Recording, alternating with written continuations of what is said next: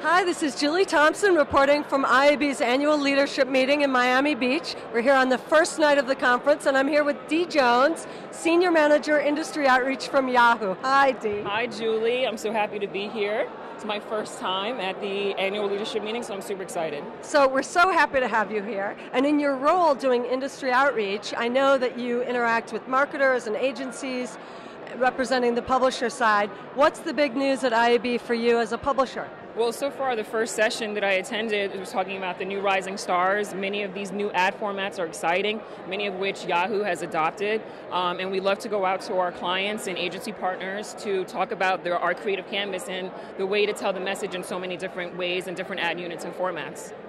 Yeah, and Yahoo has always been a champion of the creative side of the digital industry. So I love what you guys are doing with the new formats. And I, know you guys are involved with Mobile Rising Stars as well.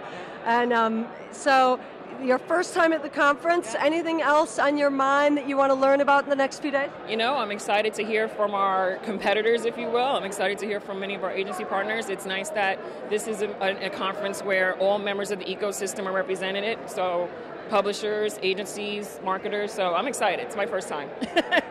awesome. And are you going to have any fun in Miami Beach? And, I hope. You know, you can't you know can't beat Miami Beach at Fontainebleau. I mean, this is uh, top notch right here. So it's exciting. Excellent. Well, thanks so much, Dee. Thanks so and much, see you. Good seeing you.